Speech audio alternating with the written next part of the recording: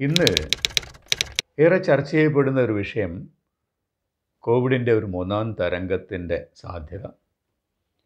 ഈ മൂന്നാം തരംഗത്തിൽ കുട്ടികളെയാവാം അത് ഏറെ ബാധിക്കുന്നത്.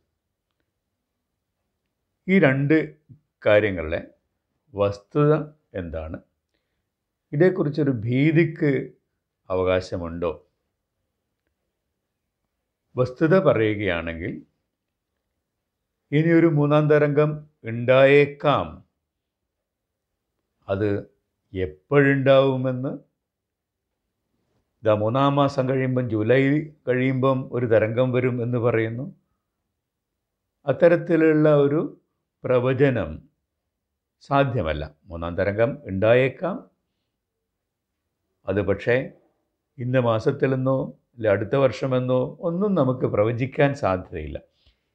എന്താണ് മൂന്നാം തരംഗം ഉണ്ടായേക്കാമെന്ന് പറയുന്നതിന്റെ ശാസ്ത്രീയ അടിസ്ഥാനം എന്താണ്?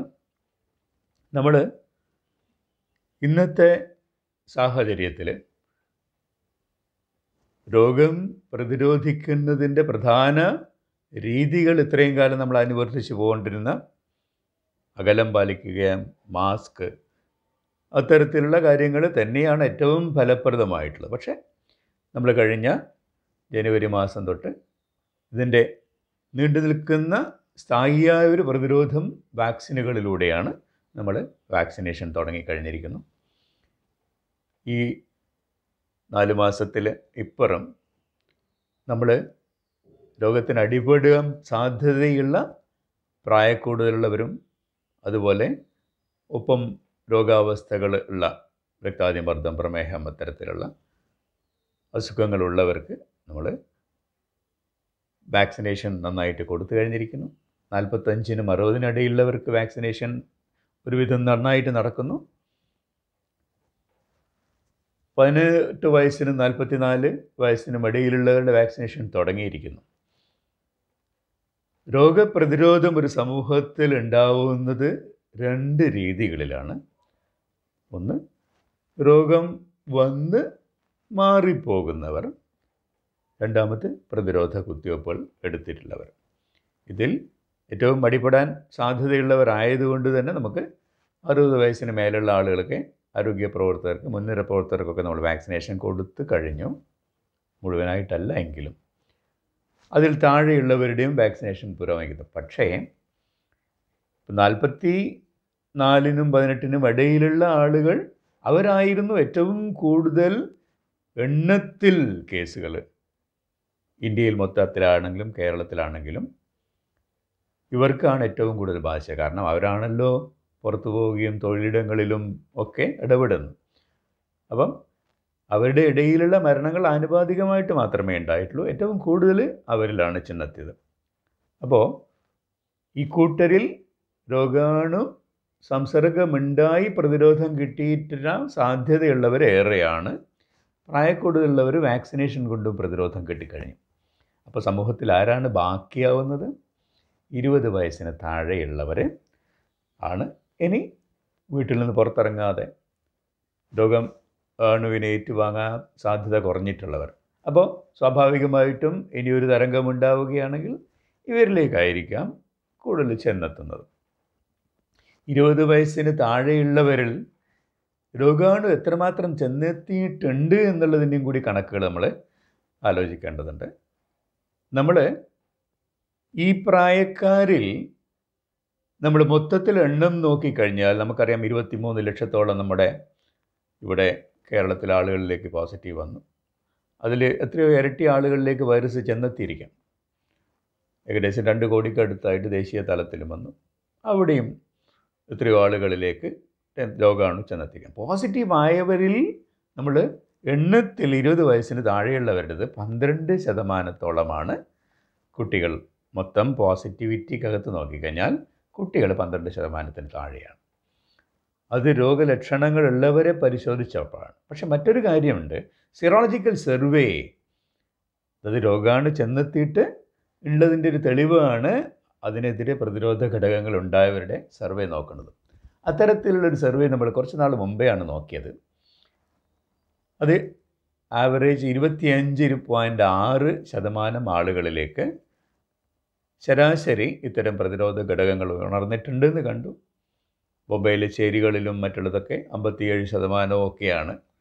അപ്പോൾ ഒരു വേരിയേഷൻസ് ഉണ്ട്. ഇന്ത്യയിലെ കേരളത്തിലെ കാര്യം കുറച്ചുകൂടി താഴെയാണ് പതിനൊന്ന് ശതമാനത്തിന്റെ താഴെയാണ് കേരളത്തിന്റെ കാര്യം. അപ്പോൾ ദേശീയ ശരാശരിയിൽ ഇരുപത്തിയഞ്ച് പോയിന്റ് ആറ് ഉള്ളിടത്ത് ഇരുപത് വയസ്സിന് താഴെയുള്ള കുട്ടികളിലും ഇരുപത്തിയഞ്ച് പോയിന്റ് മൂന്ന്. അപ്പോൾ അവരിലേക്കും ഈ വൈറസ് ചെന്നെത്തിയിട്ടുണ്ട്. അപ്പോൾ അതേ ലെവലിൽ തന്നെ രോഗാണുക്കൾ കുട്ടികളുടെ ഇടയിൽ ചെന്നെത്തിയിട്ടുണ്ട്. പക്ഷേ അവരിൽ രോഗം പന്ത്രണ്ട് ശതമാനത്തിനേ വന്നിട്ടുള്ളൂ. അപ്പോൾ ഇനി അത് കേരളത്തിലും അത്ര തന്നെയാണോ രീതി എന്ന് ചോദിച്ചാൽ കേരളത്തിൽ സ്കൂൾ തുറന്നിട്ടും കുട്ടികൾ പോയിട്ടൊന്നും ഇല്ലാത്തതുകൊണ്ട് ചിലപ്പം കുറച്ച് കുറവായിരിക്കാം. എന്തായാലും അടുത്ത് വരുന്ന ഒരു തരംഗമുണ്ടാവുകയാണെങ്കിൽ ഈ കുട്ടികളിലേക്ക് രോഗം എണ്ണത്തിൽ കൂടുതലുണ്ടാവാൻ സാധ്യതയുണ്ട്. അപ്പം തരംഗമുണ്ടാവാൻ സാധ്യതയുണ്ട് പോസിറ്റിവിറ്റി നമ്പർ കൂടുതൽ സാധ്യതയുണ്ട് എന്നുള്ളതുകൊണ്ട് നമ്മൾ അതേക്കുറിച്ച് ഭീതിയുടെ ആവശ്യമുണ്ടോ? ഇല്ല തന്നെ. കാരണം രോഗാണുബാധക്ക് ബാധിക്കാനുള്ള സാധ്യത അവർക്ക് പ്രായമുള്ളവരെ അപേക്ഷിച്ച് നാലിലൊന്നേ ഉള്ളൂ. എന്നുള്ളത് ഒരു കാര്യം. പക്ഷേ ഇവരിൽ എത്തിപ്പെട്ടിട്ടുണ്ട് കുറേ ആൾക്കാർ പക്ഷേ അവരിൽ രോഗത്തിന്റെ ഗൗരവം ഉണ്ടാവാനുള്ള സാധ്യത വളരെ കുറവാണ്. തൊണ്ണൂറ്റഞ്ച് ശതമാനവും രോഗലക്ഷണം ഇല്ലാതെ പോകുന്നു. അഞ്ച് ശതമാനത്തിന് മാത്രമാണ് രോഗലക്ഷണങ്ങൾ ഉണ്ടാവുന്നത്. അതുതന്നെ വളരെ ലളിതമായിട്ട് ചെറിയ പനി മൂക്കൊലിപ്പ് മേലുവേന നമ്മൾ അറിയുക പോലും ഇല്ലാത്ത രീതിയിൽ പോകുന്നു. ആശുപത്രിയിൽ കിടക്കേണ്ടി വരുന്ന അഡ്മിഷൻ ആവേണ്ടത് രണ്ട് ശതമാനത്തിനാണ്. ഐ സി യുയിലേക്ക് പോകുന്നത്. ഒരു ശതമാനത്തിലോ അതിൽ താഴെയുള്ള ആ കുട്ടികളാണ് രോഗം വന്നാൽ പോകാൻ സാധ്യതയുള്ളത്. നമ്മൾ ഇതുവരെയുള്ള ഡാറ്റ അനുസരിച്ച് ഒരു ഒരു ലക്ഷത്തിൽ പത്ത് പേര് അല്ലെ പതിനായിരത്തിൽ ഇപ്പോൾ ഇവിടെ മൊത്തത്തിലുള്ള ദേശീയ തലത്തിലെ ഡാറ്റ പതിനായിരത്തിൽ നാല് പേരാണ്. പതിനായിരത്തിൽ നാല്. നമ്മൾ ദേശീയ ശരാശരിയിലെ മരണം ഒന്നേ പോയിന്റ് രണ്ടൊക്കെയാണ്. കേരളത്തിന്റെത് ദശാംശം ആറോ അത്രയൊക്കെ വരുന്നുള്ളൂ.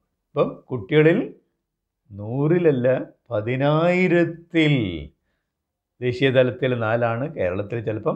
അത് നോക്കിക്കഴിഞ്ഞാൽ അതിലും എത്രയോ താഴെയാണ് ലക്ഷത്തിൽ നാലോ അഞ്ചോ ഒക്കെ ആയിരിക്കും. അപ്പം അത്തരത്തിലെ കുട്ടികൾക്ക് എന്തെങ്കിലും ഒരു കാര്യമായിട്ടുള്ള പ്രശ്നങ്ങൾ ഉണ്ടാവാനുള്ള സാധ്യതയുള്ളൂ. അടുത്ത തരംഗത്തിൽ കുട്ടികളിലേറെ ഉണ്ടാവും പക്ഷേ അതേക്കുറിച്ചുള്ള വേവലാതിയുടെ കാര്യമില്ല. അവരിൽ വളരെ ചെറിയൊരു ശതമാനത്തിന് മാത്രമേ പ്രശ്നമുണ്ടാവുള്ളൂ. രണ്ടാമതൊരു കാര്യം കൂടി ഇവരിൽ ഉണ്ടാകുന്ന രോഗലക്ഷണങ്ങളും കൂടുതൽ പ്രശ്നമുള്ള ആൾക്കാരുടെ അഡൽട്ടിന്റെ ഏതിന്റെ ഇത്തിരി വ്യത്യസ്തമായിട്ടുള്ളതാണ്. അതേക്കുറിച്ച് മറ്റൊരു വീഡിയോയിൽ പറയാം. അതേക്കുറിച്ച് നമ്മൾ അറിയേണ്ടതുണ്ട്. എന്തുകൊണ്ടെന്നാൽ അത് നമ്മൾ നേരത്തെ തിരിച്ചറിഞ്ഞ് ചികിത്സാ സംവിധാനത്തേക്ക് എത്തിക്കഴിഞ്ഞാൽ ശരിയായ രീതിയിലുള്ള ചികിത്സ അവർക്കുണ്ട്. ഈ കോവിഡിന്റെ പ്രായമുള്ളവരിലുള്ളതിനേക്കാളേറെ നേരത്തെ കണ്ടെത്തി ചികിത്സിച്ച പൂർണമായും തന്നെ രോഗവിമുക്തി ഉണ്ടാക്കാൻ പറ്റുന്ന ചികിത്സ ഈ കുട്ടികളുടെ കോവിഡിന്റെ പ്രത്യേകതയാണ് എന്നുള്ളത് അതുകൊണ്ട് തന്നെ നമ്മൾ രത്നച്ചുരുക്കം പറഞ്ഞാൽ ഒരു മൂന്നാം തരംഗം ഉണ്ടാവാം.